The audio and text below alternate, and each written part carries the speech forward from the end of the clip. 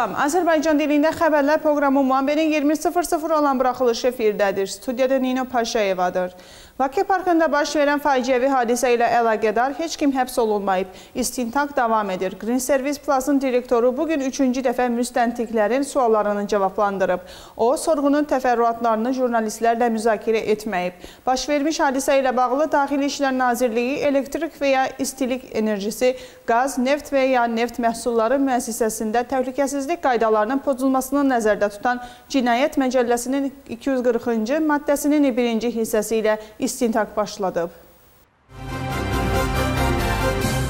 Paytaxt meriyası Vakə Parkı faciəsinin səbəblərini müəyyən etmək üçün istintaqla fəal əməkdaşlıq edir. Merin müavini fəvvarədə həyata keçirilən ekspertiza və görülən işlər barədə ətraflı danışıb. O, əsas məsələnin təhlükəsizlik mexanizminin işləməməsinin səbəblərini müəyyən etmək olduğunu bildirib. Andreya Basilaya reabilitasiya layihəsi üçün bütün standartların nəzərdən keçirildiyini, layihə ilə bağlı bütün mərhələlərdə nəticələrin müsbət olduğunu, işlərin isə layihəyə uyğun olduğunu bildirib. Milli Hərəkat Green Service Plus-ın gördüyü işləri araşdıracaq, komissiyanın yaradılmasını tələb edir. Partiyanın üzvləri adı çəkilən şirkətin təkcə Vakı Parkında deyil, həm də şəhərin digər yerlərində uşaqlar üçün əyləncə məkanları da təşkil etdiyini bildiriblər. Bu isə vətəndaşlar üçün əlavə təhlükə yaradır. Gürcüstan, Moldova və Ukraynanın Avropa perspektivi, əməkdaşlıq və tərəfdaşlıq əlaqələrinin davamı. Salome Zurabişvili və Maya Sandu bu məsələləri müzakirə ediblər. Daha sonra isə mətbuata açıqlamalar verilib. Diqqət Rusiyanın təcavüzünə yönəldilib. Amerika və Avropanın effektiv dəstəyinə ehtiyac olduğu vurğulanıb. Moldovaya səfəri çərçivəsində parlamentin sədri də Gürcüstan prezidentini qəbul edib. Görüşdə ölkələr arasında iki tərəfli və beynəlxalq formatda çox tərəfli əməkdaşlıq məsələləri müzakirə olunub. Norveçin Tbilisidəki səfirliyi rəsmi olaraq açılıb. Norveç və Gürcüstan Xarici İşlər Nazirliyinin nümayəndələri qonaqlar qarşısında çıxış ediblər. İlyadar Çeşvili tərəflər arasında möhkəm və dostluq münasibətlərinin olduğunu xüsusilə vurğulayıb. O, bu il, il iki ölkə arasında diplomatik münasibətlərin bərpasının 30 ilinin tamam olduğunu bildirib. Ukraynanın hava hücumundan müdafiə sistemi Kiyev istiqamətində uçan 3 qanadlı raketi vurub. Bu məlumatı Ukrayna prezidentinin administrasiyası yayıb. Verilən məlumatda 24 saat ərzində buraxılan bütün İran kamikadze dronlarının Ukraynaya cənubdan daxil olduğu deyilir. Kiyevə hava zərbələri nəticəsində 4 nəfər həlak olub. Hücumlar səhər saatlarında həyata keçirilib. Xilas edicilər dağılmış binaların dağıntıları altından 19 nəfəri çıxarıblar. 4 nəfər yaralanıb. Ukraynanın paytaxtında partlayış baş verən yerlərdə axtarış xilas etmə əməliyyatları davam edir. Ukrayna hakimiyyəti hədəfin kritik infrastruktur obyekti olduğunu açıqlayıb. Dronların bir hissəsi Ukraynalı hərbçilər tərəfindən neytrallaşdırılıb. Rəsmi məlumata əsasən Ukraynanın paytaxtında ən azı 4 partlayış baş verib. Binalardan birində yanğın müşahidə olunub. Hazırda Kiyev küçələrinin bir hissəsi bağlanıb. Şəhər meri vətəndaşları həyəcan siqnalı işə düşən kimi sığınacaqlara getməyə çağırır. Paralel olaraq şahidlər Odessada partlayış səslərinin eşidildiyini edildiyini açıqlayıblar. Bundan əvvəl şəhərdə hava hücumu ilə əlaqədar heyecan siqnalı səslənib. Mənəvi, siyasi və hərbi nöqteyi nəzərdən Rusiya müharibəni uduzur. Bu barədə Avropa İttifaqının xarici siyasət və təhlükəsizlik məsələləri üzrə Ali Komissarı Lüksemburqda Avropa İttifaqının Xarici İşlər Nazirlərinin iclası başlamazdan əvvəl açıqlama verib. Borrell Rusiya tərəfindən Kiyevə edilən hücuma da münasibət bildirib. Borrell bugün Avropa İttifaqının Xarici İşlər Nazirlərinin görüşündə Ukraynanın Xarici İşlər Naziri Dmitro Kulebanın da iştirak edəcəyini açıqlayıb. Thank you.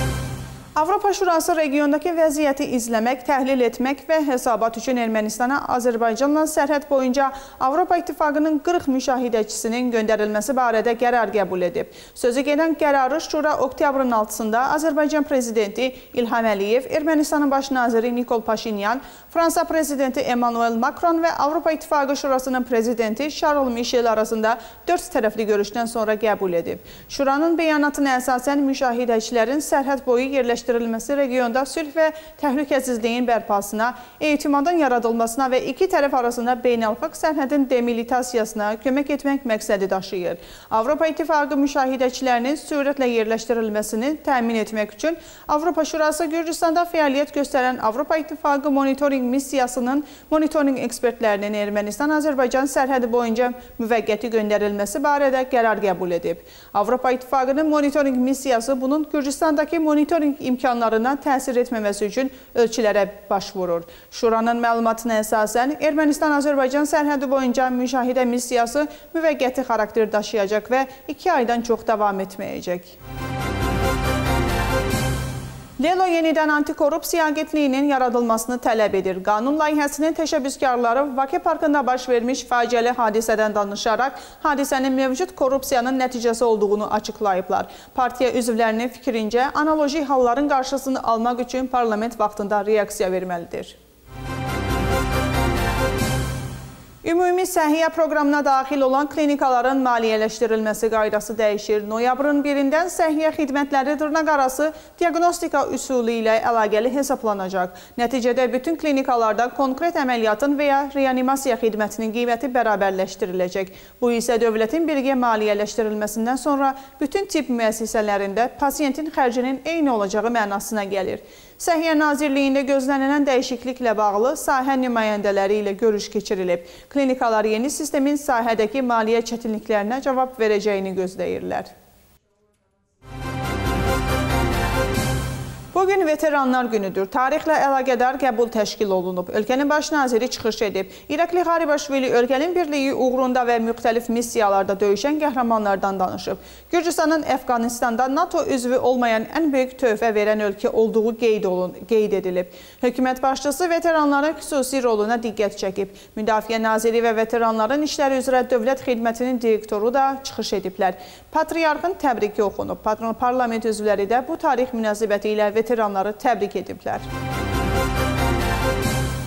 Gürcüstan İctimai Yayımçısının yeni binasının tikintisi aktiv mərhələdədir. Bugün birinci kanalın baş direktoru Tinatın Becenişvili Tbilisi Daxili Şirkətinin baş direktoru ilə birgə müqavilə imzalayıb. Müqaviləyə əsasən şirkət yeni televiziya binasının elektrik mexaniki mühəndis işlərini həyata keçirəcək.